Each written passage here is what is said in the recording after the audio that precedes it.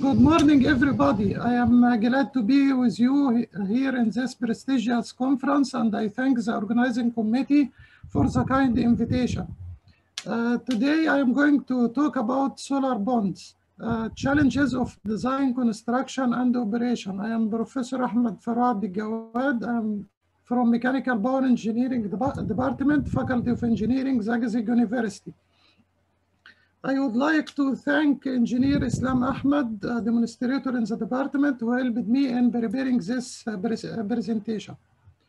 First of all, I am going to talk about the solar bond. Actually, it is a salt lake uh, that acts as a large low-cost collector of solar energy. It is used for heating, water desalination, refrigeration, drying, and power generation. Uh, heating based on the heat that can be extracted from the solar bond. Uh, water desalination, as uh, Dr. Abdinabi Abil uh, have just uh, has just explained, uh, we can use uh, considerably low temperature in water desalination and also in refrigeration. Drying here is based on the drying of agricultural products, food and uh, and all this stuff can be dried uh, uh, using the heat gained by the solar bond. And uh, finally, the power generation. We can generate electricity from the solar bonds uh, based on uh, some types of uh, generation cycles, actually Rankine cycle, which is called organic Ra- Rankine cycle. The, the working medium of the cycle is an organic material. Let us see some examples of uh, solar bonds. Uh, actually, uh, the first idea about solar bonds was um, uh, noticed in Sinai in Egypt. This was in uh, maybe in the 70s of the 20th uh, century. Uh, some people noticed that there are some uh, form- water formations, small lakes or small ponds coming from the tides of the Red Sea. And when the water goes back to the Sea, uh, some water uh, are captured in uh, small ponds, and they noticed that day after day, the temperature of uh, this uh, of water in these ponds are higher than uh, uh, normal. This was the beginning. People uh, thought that this is a good idea. Salt water in a restricted area, in a restricted pond, may result in uh, raising temperature of, uh, of, uh, of uh, water. And this uh, temperature value can be used in some uh, applications, as I mentioned before. So uh, the idea was adapted by many institutes in the world uh, and some companies also, especially who are uh, working in salt production.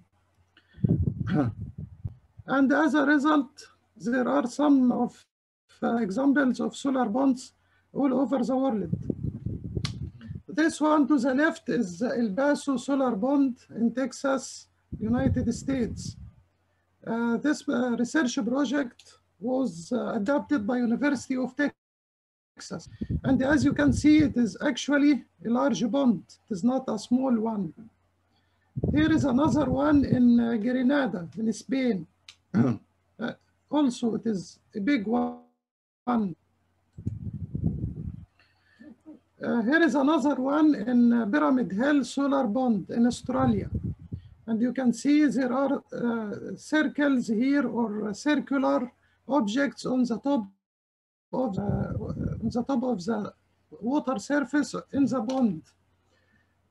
Uh, these uh, circular objects have benefits, as I will explain later on. And here is another one in India. This one was uh, designed, constructed, and uh, uh, operated in Saudi Arabia, actually in Umm al-Qura University in Mecca. My my experience is based on this bond. I was part of the team who designed, constructed, and operated uh, this bond.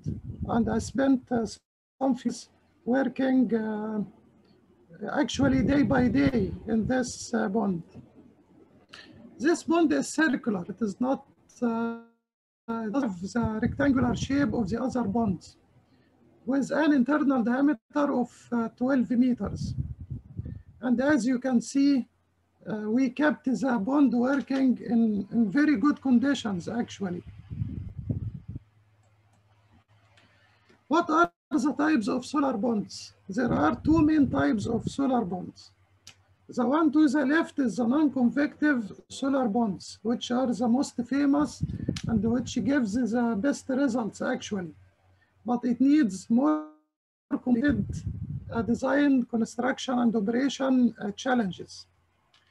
There are th three types of these non-convective uh, solar bonds, membrane solar bonds, gel solar bonds, and salt solar bonds.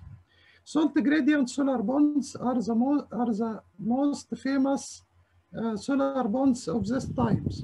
And all the types of bonds that I have shown earlier to you uh, in, uh, in States, Spain, India, and in uh, Mecca, Saudi Arabia, all of them are from this type, salt gradient solar bonds, which are the most famous and most productive.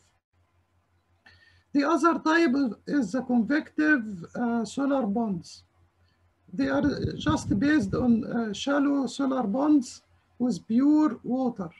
The non-convective solar bonds are based on salt water or brine water.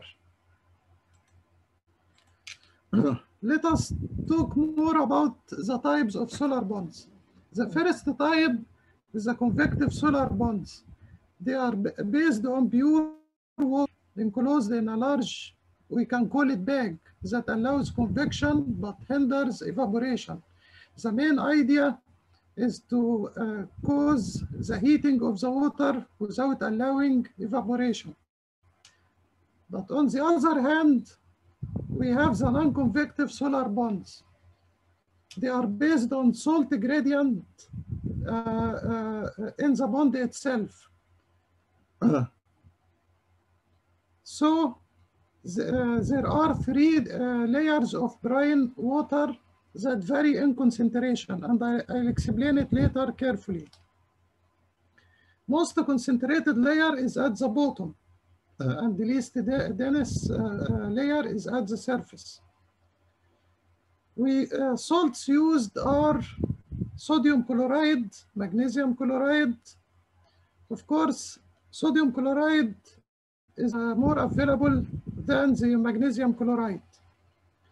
Usually, the, uh, the surface of the bond should be as dark as possible. So it is painted in, uh, in black or covered with rubber lines, which are black also. Here is the idea of the solar three layers of the solar bond. The top layer, which is called upper uh, uh, con convective zone, and the medium layer, which is called non-convective zone, and the bottom layer, which is called the lower convective zone. The idea is to trap the solar radiation, which goes from up to bottom, moving through the uh, upper convective zone, then the uh, non-convective zone, and to the bottom at the lower convective zone. Heat is trapped here in this lower uh, convective zone, and it is prevented from leaving the bond again uh, by the salt gradient in the non-convective zone, which is the middle one. Naturally, some of the heat uh, uh, should be lost. This is a natural phenomena. But the, the amount of heat kept in the lower convective zone is uh, uh, this amount of heat is uh, is enough to uh, to raise the temperature of water here to a considerably uh, uh, Uh, uh, degree of temperature that are useful for different applications. Uh-huh. Just to mention, in, in Mecca, Saudi Arabia, during summer time, we reach a temperature of about 90 something, 92, 93, even 94 uh, degrees centigrade in summer, which is very good. Uh-huh. Considering the, uh, the, the big heat capacity of water and considering the uh, amount of water in the pond, we can imagine how heat capacity we can gain uh, during summer time and even in winter time. But actually temperature reaches 60 something, 70 something, according to the location and according to the temperature in winter in the location of the solar bond. Even if we have about 14 percentage of useful heat, actually it, it varies. It may be 12, uh, 14, uh, 16 percentage, but as we know, this is uh, renewable energy and this energy is free. What I can get from the solar energy and to be useful for different application is good at any conditions. So he, so that is what I have said. Heat storage because of salinity prevents conve convec uh, concurrents from leaving the solar bond. The dark surface at the bottom of the bond uh, absorbs solar radiation. Salt is magnesium chloride, sodium chloride, or sodium nitrate. What are the advantages and disadvantages of solar bonds? Actually, there are many advantages. Is, of course, they are uh, envir environment friendly, no pollution at all, renewable energy, uh, which is sustainable forever, generation of electricity, heating of fluids used for different applications, no need uh, of separate collectors, no maintenance costs. They are really advantages. What about disadvantages? We need very large surface area, which may be available in some uh, countries, some uh, locations, and maybe not available in other locations, depending on the, uh, the, the, condition and the properties of the uh, territory. But the, the real disadvantages are the challenges. We can divide challenges to design challenges, construction challenges, and operational challenges. Let us talk first about the design challenges. When we, we start to design a solar bond in certain location, we have to put in mind some points. These points are the availability of open area for the solar bond construction. This, this availability or this constraint is not always available in many locations and may take a big space of the uh, available area for uh, agriculture or for uh, any other um, purpose. The speed and the direction. When, when the speed affects actually the surface of the solar bond. The basic idea is that the surface of the solar bond should be calm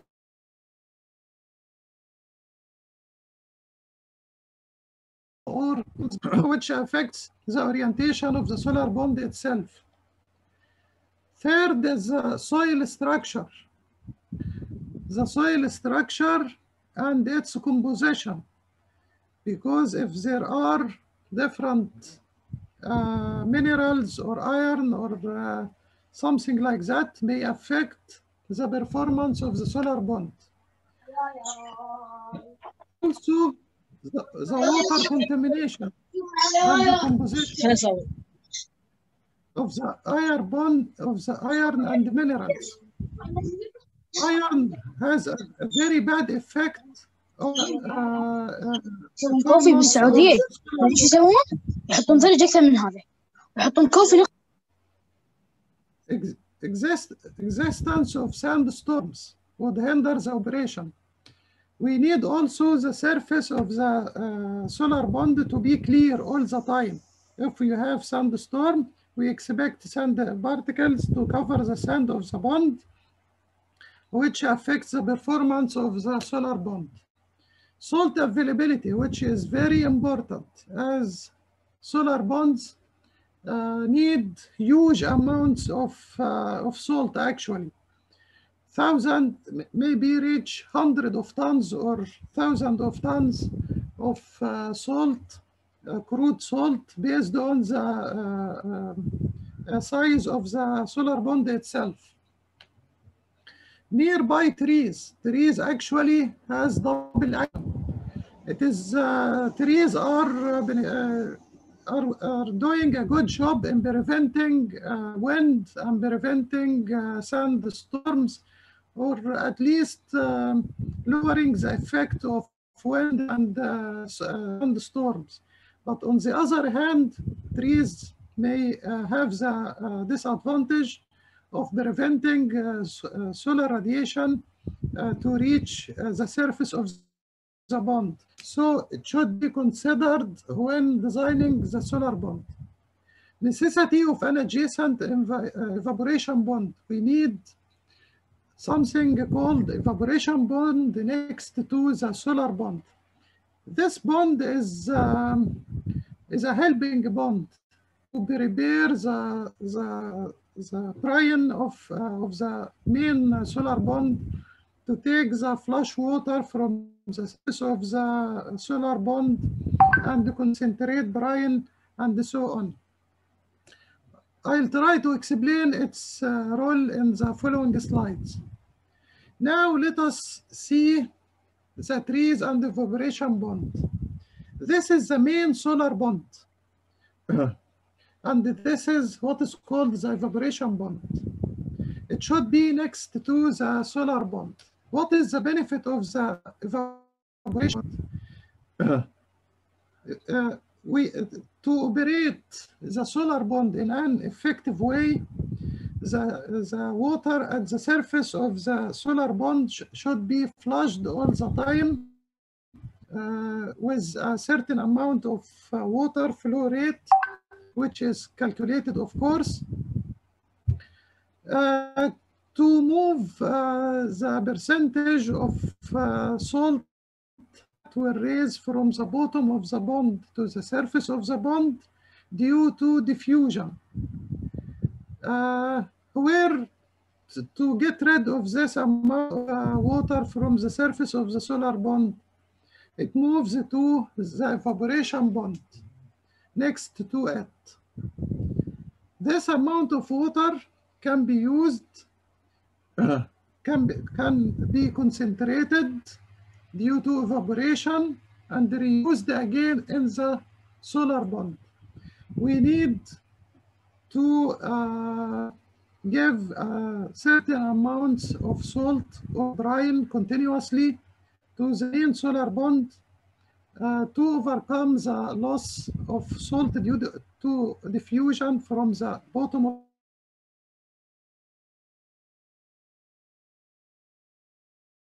of the bottom. The main advantage of the evaporation bond is that salt is conserved. We can day by day and after a certain period of time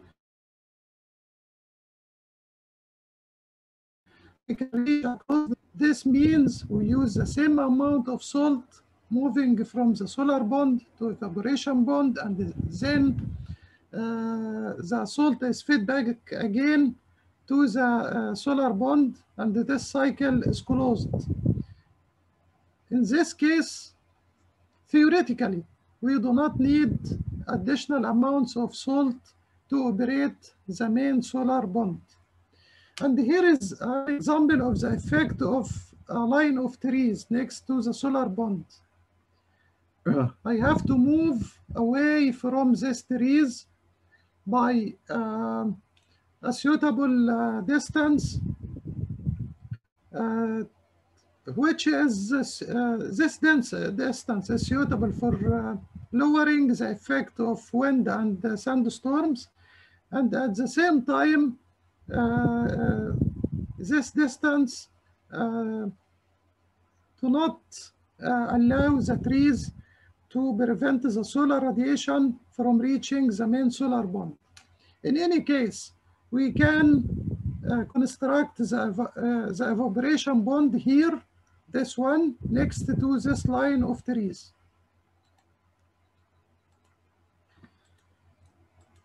Concerning the salt availability and the resources, uh, huge amount of crude soil crude, so, uh, crude, uh, crude salt. Crude salt can be uh, from the seawater and can be from the nearby salt lake if they are available. But we have to analyze and check the concentration and the densities of uh, this salt and because the density and the concentrations are very important uh, to make sure that there are uh, available quantities of salt to operate the solar bond. If uh, the, the location of the solar bond is far from the source of the transportation of the, the big amount of salt to the location of the solar bond will be very expensive actually. And it will not be an easy job at all. Now let us move to construction challenges. We have some construction challenges. The construction of the bond. First of all is thermal insulation of outside pipes. We, the, the basic idea is that getting hot water from the bottom of the solar pond to be useful in different applications if the uh, pipes uh, uh, transporting this water or this, cool, this hot water are not well insulated, we are going to lose the, the high temperature of the water. So good insulation is very important. Second is the water leakage from the pipes and the connections inside the solar bond itself water leakage from the, water, uh, the bottom of the pond. So we use a liner or film to prevent leakage. Pressure losses in long pipes and fittings. As the size of the solar bond uh, gets bigger, gets larger, uh, we need uh, long pipes inside the bond itself as a heat exchanger system. So as we know, the, uh, uh, the long pipes means pressure losses. So we need several pumps to move the uh, water inside these pipes. More pumps means more power consumption. Another uh, point is the stability of heat exchangers pipes. So we use bricks and to prevent and I will explain this point uh, in, in, a coming slide. Cor uh, corrosion of metals due to interaction with salt. This is actually uh, a severe marine environment. The concentration of salt or the, the, the we can, is, is high. The concentration of salt in the water is high Actually, the density of brine used solar bonds is about 1,300 kilograms per meter cubed, which means high concentration of salt. So we expect that the uh, cor uh, corrosion to be very high uh, in all metal parts. Let us see what I mean by thermal insulation and the fixation of tubes. These are the, here are, this is the system of heat exchanger inside the solar bond at the sides of the bond and at the bottom of the bond, here and here. Uh, these pipes are expected are exposed to high temperature, but they take water to the different uh, to another place outside bond. So I have to ins insulate the outgoing pipes here when they get out from the bond to prevent heat loss. This is one challenge. The second challenge is uh, water leakage from the pipes and the connections. As you can see, see we have big number of pipes and the connections inside the solar bond itself. Uh, leakage may occur and the leakage may happen with small amounts. So it will be uh, difficult to recognize. But actually they affect the performance of the solar bond. One idea is to use one long without any connections inside the, the, the solar as you can see and make all the connections outside the solar bond itself. In this case, if any leakage happens, it will be recognized at once. So this is a good idea actually, to have only uh, one long pipe without any connections. Another challenge is uh, uh, bottom leakage. Bottom leakage can uh, maybe not recognized at first and may uh, stay for a long time without real recognition. Leakage from the bottom of the solar bond means losing hot water from the bottom of the solar bond. So this will definitely lower the efficiency of the solar bond. Uh, to overcome this challenge, we need to install polypropylene uh, liner, as you can see here and here and here. And uh, usually uh, this liner is to attract solar radiation as much as possible.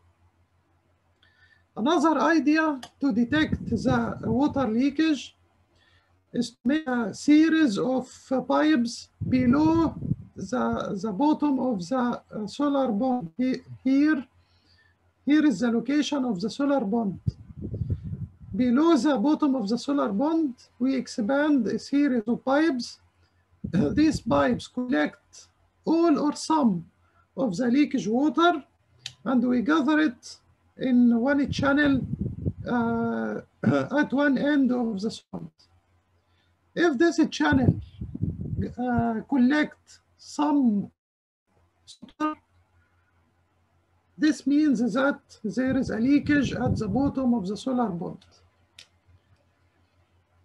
We have to notice that after the erection of the solar bond, any modification or any uh, uh, idea or any attempt to make corrections to some of the defects that appear later on during operation is an easy job at all. And, uh, and sometimes we need to, uh, to empty the solar bond and uh, reputting uh, the water layers, which is not an easy job at all the, the art of uh, constructing the different layers, the three layers of the solar bond is actually not easy. And it needs um, uh, uh, sk skillful, uh, big, it needs high skill and patience. Another challenge is the stability of heat exchanger pipes. the wall inside all these pipes, which is, uh, uh, is the heat exchanger, uh, is pure water. Its density is about 1,000 kilogram by meter cubed. But the surrounding brine water has a higher density. It is about one 1,200 or 300 kilogram per meter cubed. So it is expected that these pipes uh, are, tend to float upright. Floating upright of these pipes means disturbance, big disturbance of the uh, lower uh, convective zone, which affects greatly the performance of the solar bond. So these pipes should be fixed, as you can see here, with certain fixations, which are non-metallic at all. But also we need to add some bricks, as you can see here and here and here, to ensure that these uh, pipes are stable and not floating at all. Uh, here is a corrosion. As you can see, any metallic parts inside the bond are sub subjected to severe corrosion. So what is the solution? The solution is to use non-metallic. As you can see here, all, all pipes are non-metallic or fixations are non-metallics. Even the, the supporting uh, nails or supporting screws are especially uh, uh, used for marine applications. the last challenge is operational challenges. The operational challenges. Contains fresh water supply. Flush water, we need continuous supply of uh, fresh water to make the flushing at the uh, upper uh, convective zone. Continuous salt or brine supply. The, the solution is to use the evaporation bond. And if we can reach to a closed cycle between the solar bond and the evaporation bond, so theoretically, there will be need to more salt during the operation but actually we need some uh, amount of uh, salt uh, from time to other to supply the solar bond. Continuous removal of algae. Algae is a big problem in such application and should be removed continuously day by day. Otherwise, they will prevent the uh, in, uh, an enough amount of solar radiation sorry to reach to the bottom of the solar bond. And also water contamination. Water contamination uh, is a big problem actually especially if there is iron or uh, mineral minerals in the water uh, itself one solution is, uh, uh, is to use the freshwater shrimp, to use freshwater sh shrimp at the uh, upper convective zone. This, this zone actually is almost pure water. So shrimp will take care of algae and prevent the formation of a layer of algae that prevents solar radiation to reach the bottom of the bond we need water treatment. If there is iron or mineral uh, minerals inside the water, uh, the water fresh water supply. We need also wave damping at, at the surface uh, of the bond to ensure if there are strong winds expected in the location. Uh, we need continuous measurements by different instruments. These is- instruments, turbidity, flow meter, density, thermocouples, level indicators, and we need these measurements daily actually. So we- we need calibration and skillful labors, and we should stress on this item, skillful labors. Pipe fouling by, is expected if the water supply uh, there are iron contamination or minerals in the water supply. Also, climate changes. If there are sandstorms, sudden sandstorm, a strong sudden sandstorm may cause uh, failure of the action of the solar bond due to the, you know, the contamination of the fine particles of sand at the top surface of the solar bond, which prevents uh, solar radiation from reaching the bottom. And at the same time, the big particles of the sand will gather and accumulate at the bottom of the solar bond, which changes the size or the height of the lower concentration, uh, lower convective zone, changing the size, the size of the low concentration, uh, low convective zone affects the efficiency of the solar bond directly. Uh, here is, uh, uh, let us talk about the salt or brine supply. The salt charger moves from the uh, outer surface to the bottom of the solar bond. It should be uh, full of salt all the time to provide the bottom uh, layer of the solar bond with enough quantity of salt uh, uh, that are lost by diffusion to the upper surface. And sometimes we need huge quantities of, solar, of salt, as I uh, said before, may reach 1,000 tons, which is very big amount of salt actually. the second challenge is the water treatment. What we see here is the effect of iron.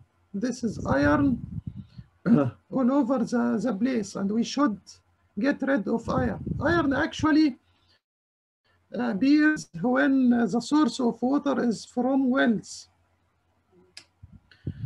from rivers. the other problem is algae, as you can see here, and we should get rid of algae uh, day by day. What about surface waves uh, suppression? You see here, this is the movement of the upper surface of the uh, of the lake of the pond due to wind. This movement of the surface allow forced convection, which means of energy which are stored in the bottom of the solar bond and prevent uh, so, uh, uh, full solar radiation to reach the bottom and cause mixing and disturbing of the salinity gradient. Salinity gradient is very important in the medium zone of uh, uh, the solar bond.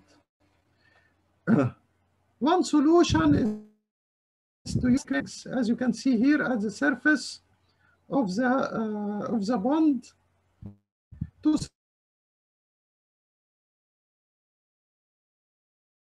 suppress measurements and by different instruments. We need continuous calibration and skillful labors. There are different uh, uh, measuring instruments actually. We need density meter, turbidity meter, uh, thermocouples and uh, the measuring device, digital measuring device, pH meter. Thermocouples are everywhere in the solar bond, as you can see here at the bottom and in the side walls. actually hundreds of thermocouples. to make sure that the operation of the solar bonds uh, is really okay. Uh, so we, uh, we, we reach to the conclusions. Solar bonds effective, can be effectively used to generate big amounts of thermal energy at relatively low temperature. Solar bonds can be used for process engineering, buildings, heatings, water generation, electricity generation, water desalination, وهكذا, and so on. But there are actually many challenges are to be faced by researchers. And this point should be considered carefully by researchers because these challenges are really challenges. so contribution and support of industrial sector are very important actually. Solar bonds usually are big, huge, large, need big facility, need big investment, and, um, and support of industrial sector is very important actually. I have to acknowledge my partners, Professor Dr.